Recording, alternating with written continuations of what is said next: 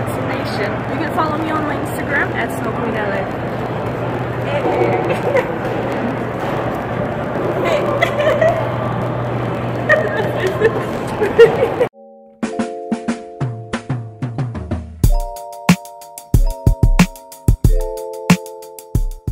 Dontae's Boxing Nation, what's going on, guys?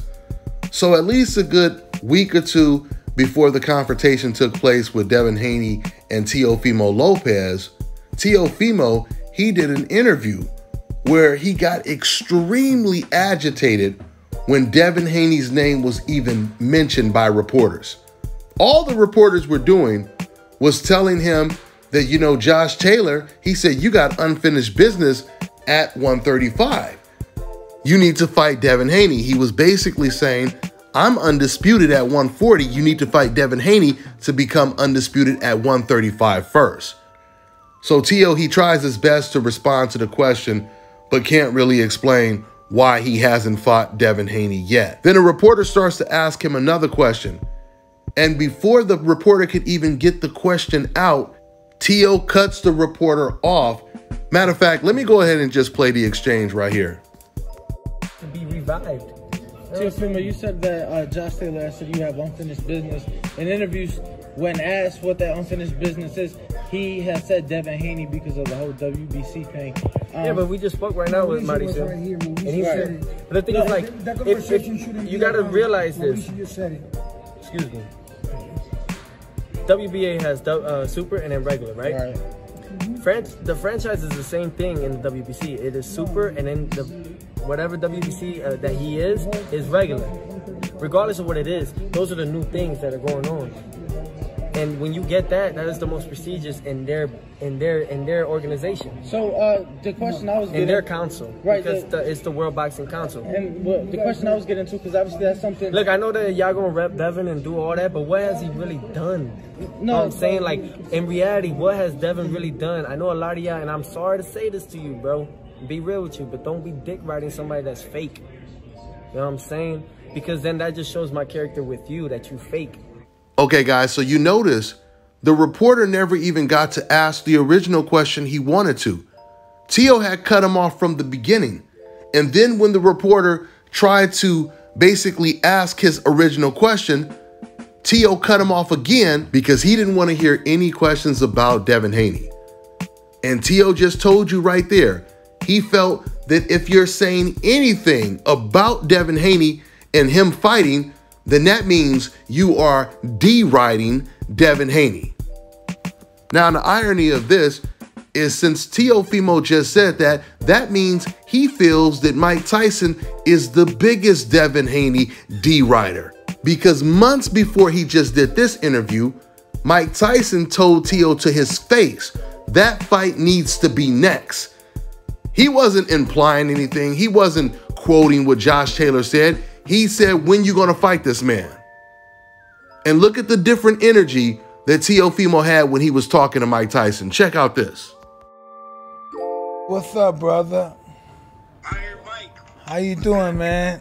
I'm doing great. How you doing? I'm doing good. I was just saying, man, I love you, brother. But somebody was talking shit, you know. So it's. Who was talking shit? Oh, you, you, please what you up to, my man? Oh yeah, you training? Tell me you want to fight, man. oh no, yeah, we gonna we talking about it. We gonna get it. We gonna get it, but we gonna make it happen. We gonna make it happen. Let me let me let me see what they do in Australia first. You know, if we don't like what they this do, should be the next we gonna fight, make this man. fight this happen. Should be the next fight. It should be the next fight, right? So there it is. Mike Tyson he tells Teofimo to his face, forget about any other fight this Devin Haney fight should be the next fight, right? And you never hear Teofimo tell Mike Tyson how he really feels.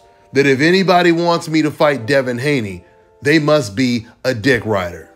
Now, guys, throughout this whole interview that Mike Tyson did with Teofimo Lopez, Mike Tyson was pushing hard to make this fight between Teofimo and Devin Haney. And do you guys know that at one point, Teofimo actually called Mike Tyson an instigator? Yeah, he called him an instigator for trying to make this Devin Haney fight. And it's crazy because why would you call someone an instigator if you want to fight this person?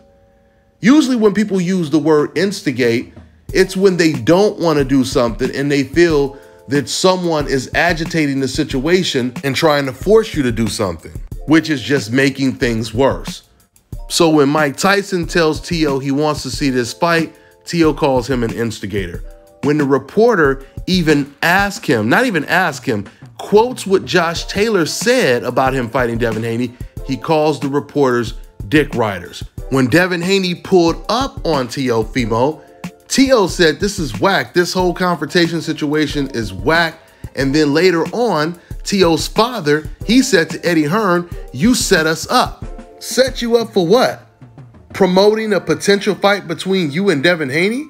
I mean, Senior, he's making it sound like somebody set him up to be jumped or something, right? Somebody set him up to be hurt. I mean, how come we never hear Devin Haney talking like this? Hey, you guys tried to set me up. Hey, Mike Tyson, stop instigating the fight between me and Teofimo Lopez. Talking to the reporters. Man, why y'all keep asking me questions about Teofimo?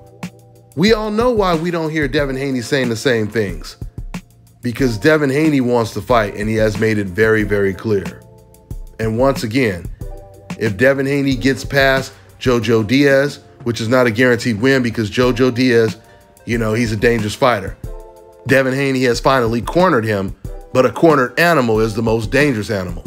But once Devin, or if Devin gets past Jojo Diaz, it's going to be very, very difficult for Teofimo Lopez to justify turning down that fight if he gets past Kambosos, which is also not a guaranteed win. In fact, I see the Tio versus Kambosos fight as more of a tougher fight than I see Devin versus Jojo Diaz at least tougher for Teofimo to win.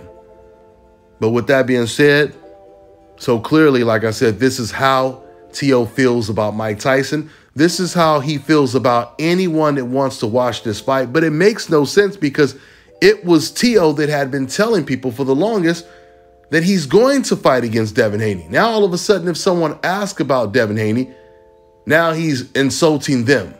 We know what time it is, don't we? That's all I got for now, guys. I'm on to the next one. All right, now check this out, guys. If you're looking to repair eczema scars, burns and bruises, dark spots and blemishes, then this right here is the perfect product for you guys. It's called Elo Key Face and Body Oil. Athletes and top-ranking boxers, they're also using it after training to reduce swelling, and inflammation, and to ease the pain. So get yours today. Go to aloedeeki.com, like them on Facebook, and follow them on Instagram. Fellas, I've got some great news for you. If you've lost your hair or have a receding hairline, the time has come when you can finally get your hairline back through a process called scalp micropigmentation. So here's how it works. It's a hair tattoo that replicates the look of your hair follicles when you have fully shaved it down. So to get this hookup, make sure you follow and contact my man Scalp Carolinas on Instagram. Contact them at 704-499-3471 and make sure you follow them on Instagram.